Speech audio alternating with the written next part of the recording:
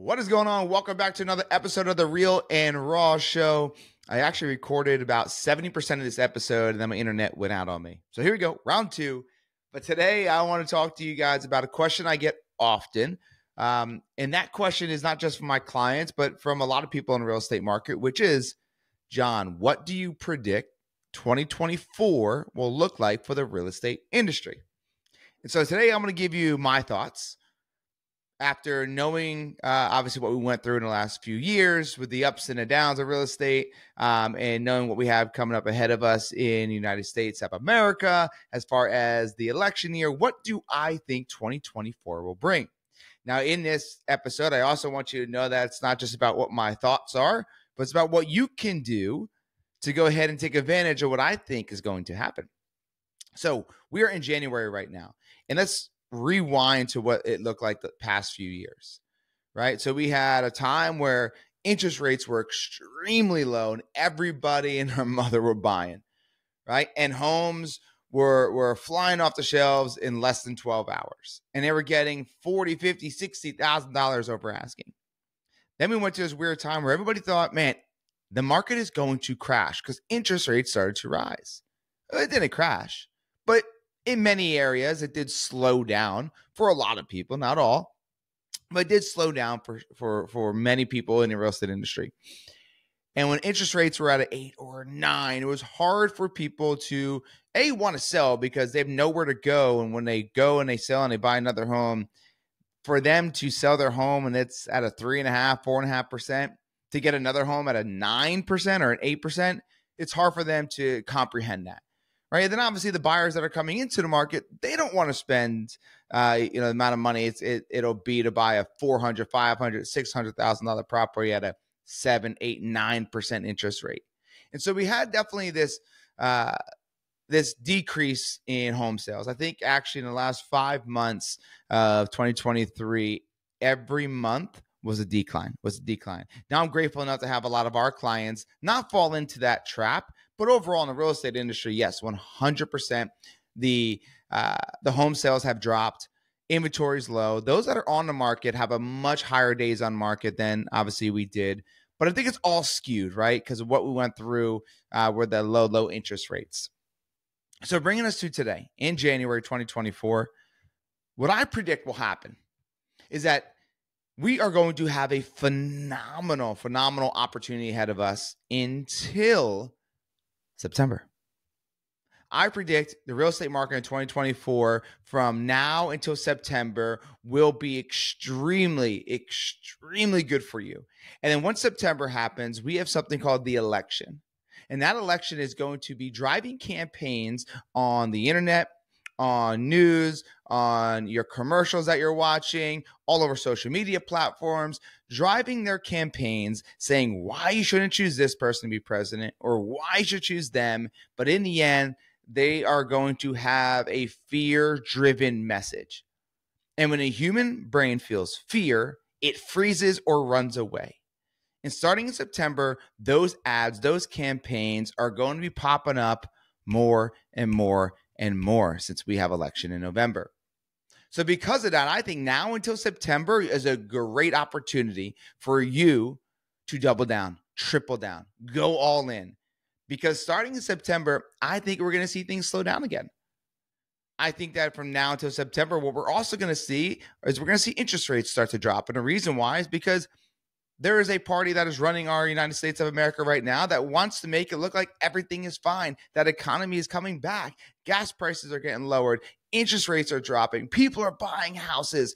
All these things are great, but it's just smoke and mirrors to make you feel good so that when the election comes, you remember what just happened, not what happened 2 years previously.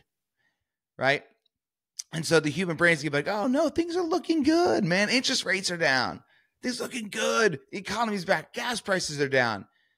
This will infiltrate your thinking and cause you to think differently when electing the next president.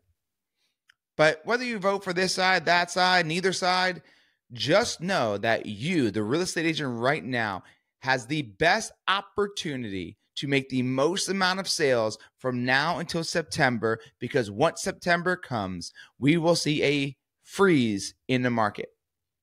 Now, will it be a complete freeze? No, people still need to buy, people still need to sell. But we are definitely going to see great opportunity over the next few months. So, what are you going to do about it? What are you going to do about it? Are you going to go ahead and be more intentional? Uh, are you going to go ahead and make more dials? Are you going to go ahead and invest in yourself in leads or um, in marketing or in a coach? What are you going to do about it? If you don't maximize and squeeze all the juice out of this orange right now, when it comes to September, October, and that orange is dried up and you're trying to squeeze it out and nothing's coming out, you've wasted the opportunity for the last seven, eight months. So it's time to buckle up, all gas, no brakes mentality, and get after it and go get what is yours. You got to work a little more, do it. You got to put more effort in, do it. You're going to do the things you don't want to do when you know you need to do it, do it. It's a great opportunity. Get out of the old pattern that maybe 2023 brought you into. Get out of the negative thinking. Get out of the things that are stopping you from taking the action and go all in. Play to win play to win. So, coming in September and October, when it slows down, you did everything you can do to go ahead and dominate, to go ahead and win. You left it all out there. You emptied the bucket. You went ahead and did everything you could to maximize your opportunity. Or you could go ahead in September and October come around and realize, man, I wasted a lot of time. I complained. I didn't commit. I was just interested, right? Because you're either committing, right, 100%, or you're just interested. Pick and choose, right? You're either going to go for the gold, right, or you're not. And so just take this opportunity next couple months and go after it. Make more dials, connect with more people, follow up better, get your systems and processes in place so that you can go ahead and make the most amount of money, put the most amount of effort in from now until September, just in case I am right and things do slow down, you've at least created a massive success in those in the first nine months of 2024 that could maybe make up for a few slow months. Okay. A few other things that you could do so there's a uh, a podcast to listen to called um, it's a money podcast with Dan Fleischman. So I'm a part of this thing called the Elevator Syndicate, where we go ahead and we basically have opportunities to invest in different companies, invest in different brands, um, and so he's one of the the main people that brings these opportunities to us and network of people. Then we decide if we want to invest or not. He has this podcast called uh, the Money Monday podcast. I think that's what it's called and he talks about having this extra cash, right? Extra cash, obviously, just in case something happens, but also extra cash in case there's a great opportunity. And uh, anybody that's listening to this right now, I know a lot of us are like, all right, man, how do I how do I take my money and make my money make money? Uh, and maybe real estate isn't it right this second because you're waiting for rates to drop, and then you can go get real estate. That's fine. Here's what I want you to do. I want you guys to look at something. I want you guys to go look at a high yield savings account a high yield savings account.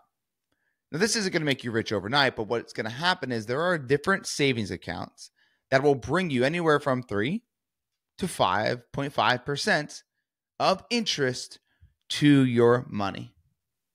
If you have your money right now sitting in a bank, it is probably 0.0000001% interest you're getting. It's not making money you're probably losing money, right? Because obviously the the value of the dollar is going down.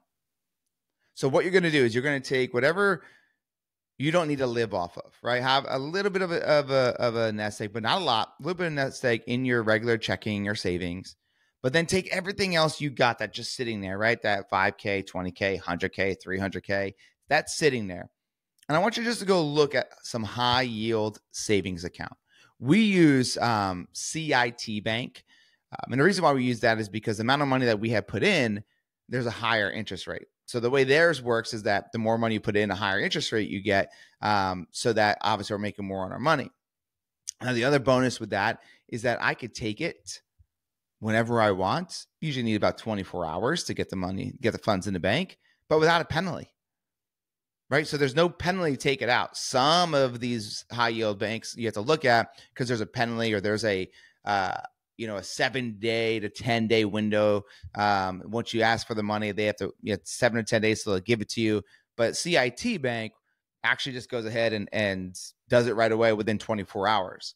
Now the only thing you do have to pay is you do have to pay tax on the interest, right? So whatever interest you make, you'll just pay tax on it. But if you get a twenty thousand dollar commission check I want you to take whatever you need, obviously, to pay off the bills, put into your bank. Do that. Take your 5K, whatever, 6K, 8K, whatever it might be. Then don't put the rest in a savings. Move all that $12,000 that's left, whatever it might be, right into a high yield savings account and make 5% of that 12K. Right. And then rinse and repeat.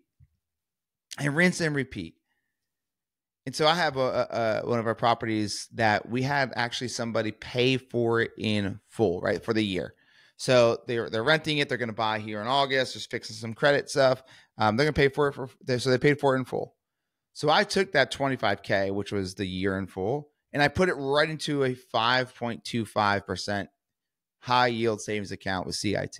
Now I'm not affiliated with them; it's just what I use. And so, boom, right away I was able to pull that.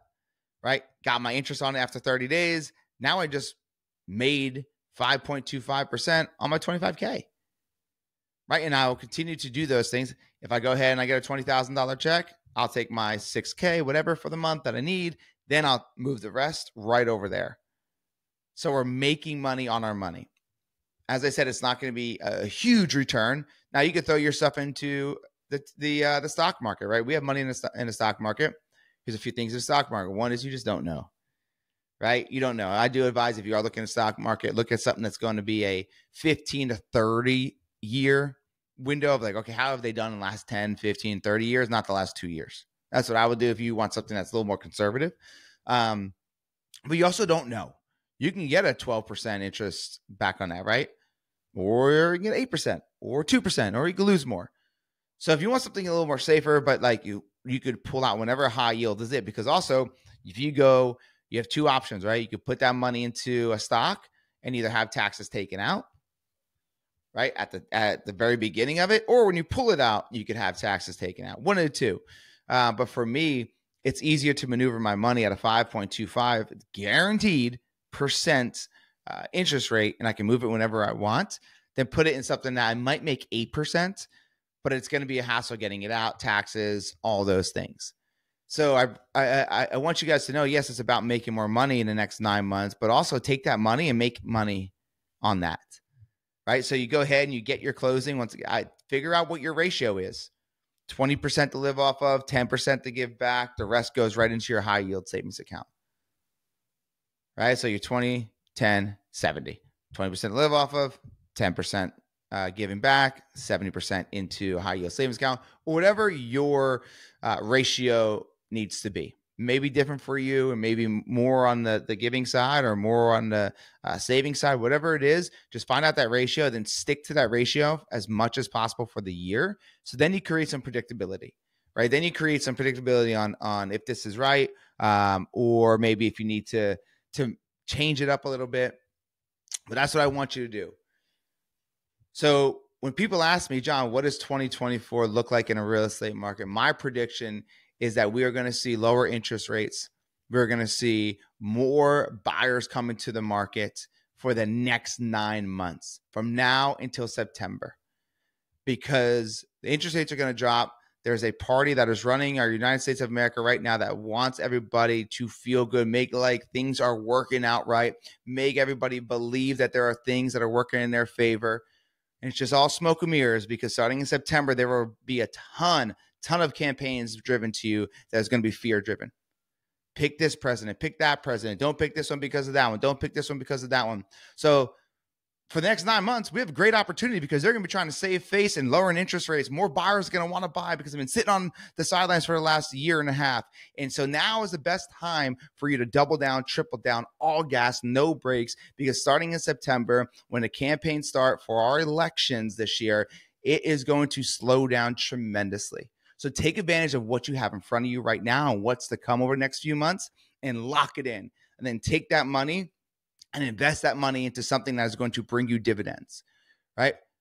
Whether it's a high yield savings account, it's a stock market, whatever it might be, Put your money to work. Don't let it just sit in the bank. So take the next eight to nine months, go all in, double down, take that money, create the ratio that makes sense for you, whatever it is you need to live off of, whatever it is you need to give back, and then whatever you need to go ahead and put into savings to create income off of that and then have that money sitting there. So when there's an opportunity that is sitting there waiting for you, it's a real estate deal, um, it's a business deal, you have the funds sitting there and it's been creating income because it's sitting in a high yield interest savings account.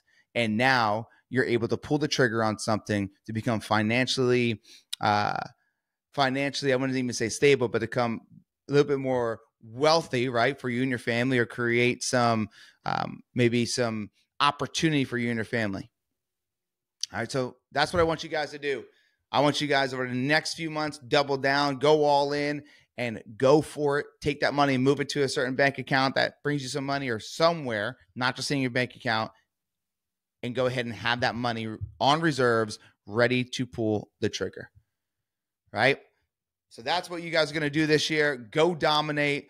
Make sure whatever you do, the money you make this year, put it into something that is going to bring you dividends, bring you interest. A high yield savings account, like I said before, is a great opportunity. 3% to 5.5%, then have that money sitting there and waiting for when there's an opportunity to buy real estate, to invest in another business. You have the opportunity, you have the reserves, you have the capital, you can go ahead and invest in that. And while that is sitting there, you're also making some money on it. So you're going ahead and having even more capital, more reserves to go ahead and put towards that next investment property. So hopefully this helps you with understanding what I feel like 2024 will look like. Now it's time to get to work. Now it's time to get to work. Let's put in the effort because that is what we can control and go get what is ours. If you need me, please reach out to me hit me up on Instagram at real John Marrone. If you want more advice like this and kind of what I think you should be doing in a real estate business, right? In your specific real estate business, reach out to me and we'll book a one-on-one call. I'll give you my feedback and what I think that you should be doing to maximize the next several months here. And then we'll see if we're a good fit to work with each other. So you can go ahead and just go to gorealestatemastery.com, right? www.gorealestatemastery.com or go into Instagram at Real John Marrone, slide in my DMs, let me know about your business, and let's jam. As always, guys, especially this year, especially in the next several months, don't wait for the door of opportunity to open. Go kick that damn door down and take what is yours.